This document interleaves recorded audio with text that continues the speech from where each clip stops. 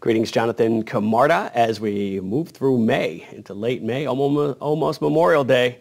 Uh, so a lot to cover. Uh, we're going to take some macro views here, kind of give you some perspective uh, as we head into uh, the holiday weekend next week. And then, of course, we'll rejoin you the week after that, uh, give you guys a little reprieve.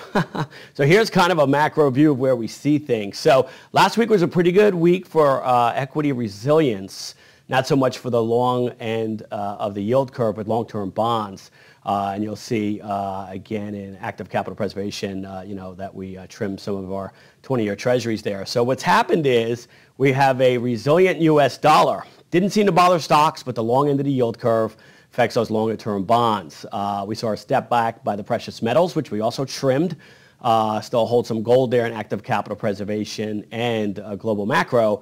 Uh, however, again, uh, you know, th- these are risk on indicators uh, when you see those back off. Of course, the dollar is not, but equities, like I said, moved up in the face of a dollar rebound, which of course last year wasn't the case.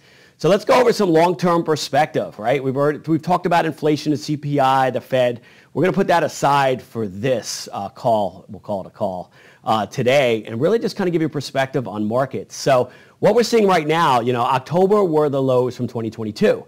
Now you have very uh, bearish commentators you may be seeing on TV uh, calling that we're going to go past those and of course uh, talking about a lot of fundamentals. Of course, a lot of these analysts, uh, again, sometimes look past AI, artificial intelligence, machine learning, ML as they call it in the business, and some of what they call the nonlinear correlations that these analysts are just looking at from you know, the past 50, 60, 70 years. The playbook has changed and markets and computer-driven uh, trading strategies actually look past a lot of these. So you have to be cognizant of that. So let's look actually now, if we look at um, seven months after a market low, if it does not break that low, of the last four time, 14 times that's happened, only two after seven months staying above has it sunk below. That was the uh, tech bubble of 2002 and during COVID, which was kind of an outlier bear market, very quick there, right? Only those two times.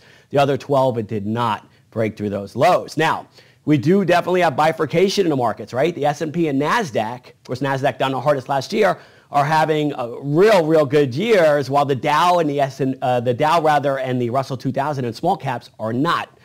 Now, uh, the bear case for that is is that um, you know something has to change, right? Something you got when you get to that fork, you got to take it, right? And so either way, uh, we could have the Dow and the Russell rally to catch up, or we could have a reversion to the mean, which is a nice way of putting a uh, severe downslide in the Nasdaq and S&P 500, uh, as the Dow Jones and the Russell 2000 are portending of weakness.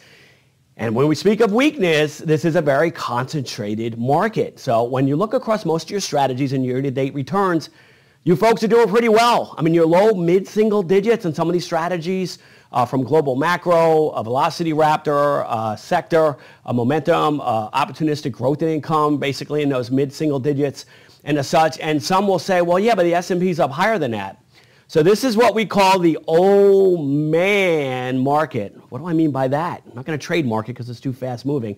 Old man, as in being M-triple-A-N, Microsoft, Apple, Alphabet, Amazon, and NVIDIA. Top five companies okay, market cap wise, 8.7 trillion. Okay, that's 25% of the entire S&P 500 is driving 80% of that S&P return this year, 80%. Now, most of you will find these stocks in your strategies as they are pretty nimble, but you don't have them composing 80% of your portfolio as that is not prudent diversification. So on the bear side, you would say this is very concentrated, uh, so therefore watch out. Now, not necessarily, again, do we make calls on that. However, that's why we do have some defensive positions. But again, when you look at the Russell and the Dow Jones, break even, slightly above break even for the year, uh, with a lot of folks are doing better than that. Uh, but the, they look at the S&P and Nasdaq, so it's very, very concentrated. If you look at the S&P 500 further, listen to this. Okay, you have the mean average return of less than two percent for the entire S&P 500, which means those five stocks are the main drivers of the returns this year. In fact, over half of the S&P 500 stocks are trading below their long-term 200-day moving averages, which is a uh, again a beacon for a downtrend, not an uptrend. Now, with all that being said, we don't necessarily sit in a bear camp totally because again, a lot of our indicators are also uh, turning green. Now, we do have some overhangs, which we'll get to. So that's why, again, we always remain unbiased on this podcast, show, whatever you want to call it, call. uh, and that's why we stay eternally vigilant. So if you notice in a lot of your strategies this last month, taking advantage of that concentration in tech and AI and such and some of your more nimble strategies and then even in uh, your more dividend paying strategies, while at the same time having a nice bourse in that 4.8% currently, uh, you know, SNOX, Overnight Federal Reserve uh, uh Trust uh, fund as well, including fixed income and short-term treasuries where we're earning, uh, you know, low to certainly mid-single digits as well. So again, you got to be prudent with your allocation. And as an allocator, which I am, we're looking at the most attractive asset classes, being nimble, especially in tax-deferred accounts, but we're not loading your accounts with 80% in, in, in, those, those aforementioned uh, man stocks, okay? I beat Cramer for that, that, that name where he used to have the Fango and all, all the different stuff that he used to uh, go off the original Fang, et cetera. So this is the old man market. So we're going to watch it closely. We have the debt ceiling, right? That's coming up. Now, if you look back to 2011, there are some parallels where the market was up, uh, you know, commensurately like we're seeing this year, but ended break even for the year after a hard fall in that August, right, when they fell off the cliff, and then it, it, it raged back late in the year to get to just slightly above break even. A lot of folks calling for that. We're not saying either way. We're just, again, have the hands on the steering wheel and probing between the gas and the brake pedal, as it were, watching this very carefully. The other overhangs that you have, the regional banks. You heard Janet Yellen. Uh, you know, I interpreted a few words of what she said there, and pretty much that consolidation, uh, you know, was in the cards. So consolidation generally means more banks failing, and she's expecting some of these large banks to come to the rescue. That was a nice way of triaging that, of massaging word salading uh, the fact that we could see some more failures. So those that were, you know, uh, in the Fed and as such saying that, you know, these were outlier cases with these banks, maybe not.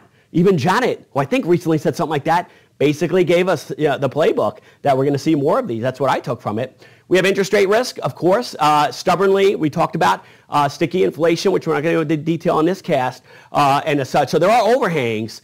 However, however, anyone who dismisses the move, and again, potentially, again, lower rates, uh, you know, and, and propping up these tech names, they can go for a while, which is why, again, unlike the bears on TV, we don't take binary uh, we don't take binary moves. We tread very lightly on the surfboard, in the ocean. Let's assess the wave. Again, uh, uh, fear of losing more. Certainly, if we have a hard downturn, not being succumbed to FOMO, fear of missing out. However, when the opportunity is there, we must get on the proverbial board and ride. If you look at your strategy, especially over the month of May, you'll see just that. Monthly statements aren't out till June. You'll see that. Could be drastically different as we move into June uh, if these folks up in D.C. don't get their act together. Stay tuned. It's an ongoing soap opera. With that being said, have a great Memorial Day weekend next week. If you have any questions, certainly we are eternally vigilant and working right through uh, every day, uh, 10 hours a day. But obviously, I'll give you a break from, uh, from these casts so you can enjoy maybe Netflix or something else over the holiday with your family. Again, Jonathan Camarda signing out. Stay frosty. It's a pleasure serving you all. And until next time, have a good one. Stay cool and uh, stay vigilant.